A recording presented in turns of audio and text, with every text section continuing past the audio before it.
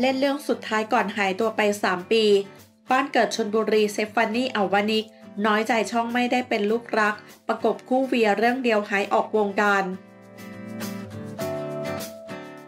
ถ้าพูดถึงนางเอกวิกหมอชิตที่มีผลงานออกมาให้แฟน ๆ ได้รับชมอย่างต่อเนื่อง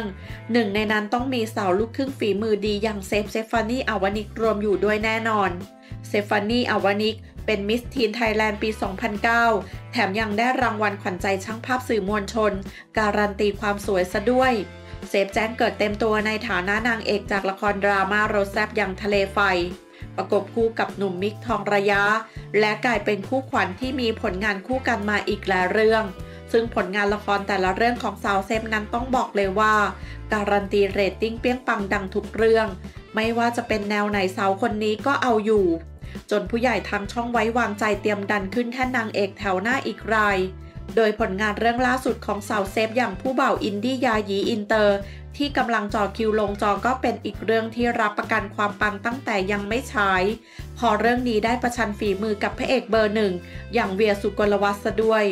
แต่หลังจากที่เธอได้ขึ้นแท่นเป็นนางเอกดังเปรี้ยงจากการประกบคู่กับหนุ่มเวียร์เป็นเรื่องสุดท้ายนั้น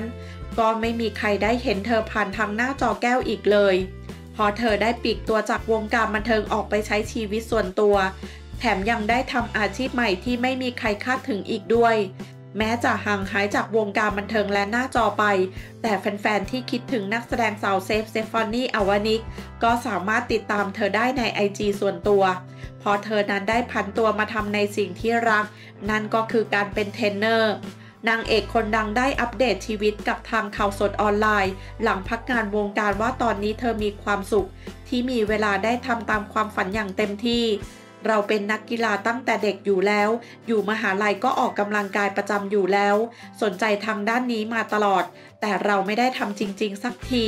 แต่พอเราลอง เราเริ่มต้นจริง ๆ เริ่มสอนคนอื่นจริง ๆ ก็ประมาณ 4 ปีที่แล้ว แล้วก็เริ่มจริงจังขึ้นเรื่อย ๆ เรารู้สึกว่ามันเป็นทางที่เราชอบมาก ๆ หันหลังให้กับวงการบันเทิงเลยไหม คือเรามาโฟกัสทางด้านตรงนี้มากกว่า ความที่เราอยากจะทำตรงนี้มานานแล้ว ด้วยความที่โอกาสมาพอดี จังหวะมันมาก็เลยอยากรีบคว้าไว้ ในส่วนของวงการบันเทิงตอนนี้ก็ที่เรารู้กันว่า ทุกอย่างมันเงียบอยู่แล้ว เราก็เลยอยากพยายามใช้ช่วงนี้ทำตรงนี้ให้ดีที่สุด แถมก่อนที่เธอจะได้ห่างหายจากวงการก็มีดราม่ามาไม่น้อย เรื่องของความสวยที่ไม่เหมาะแก่การเป็นนางเอก จนทำเอาเธอน้อยอกน้อยใจไปช่วงหนึ่ง แต่เธอก็สามารถผ่านมาได้ และตอนนี้เองสาวเซฟก็ได้เลือกทางเดินชีวิตของเธอที่ตั้งใจไว้แล้ว เป็นกำลังใจแล้วรอติดตามผลงานใหม่ๆ ของเธอกันค่ะต้องบอกเลยค่ะว่าตอนนี้นางเอกสาวของเราได้หุ่นดีมี 6 แพ็คกลายเป็นสาวสายสุขภาพเต็มตัวแล้วค่ะ